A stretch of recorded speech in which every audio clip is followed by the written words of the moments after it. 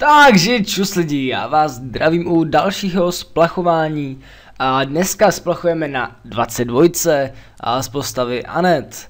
A já doufám, že už nám konečně padne z hajzlíku Epic, protože nám ještě nepadnul nikdy.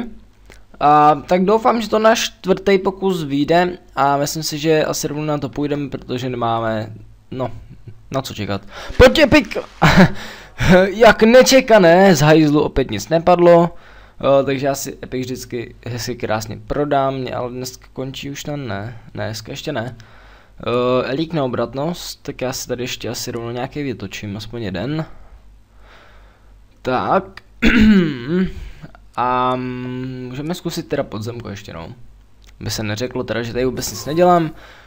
A já se teda s váma pro dnešek loučím a těším se zase u dalšího splachování a já doufám, že už to zase, že už to snad příště vyjde. Mějte se, čus.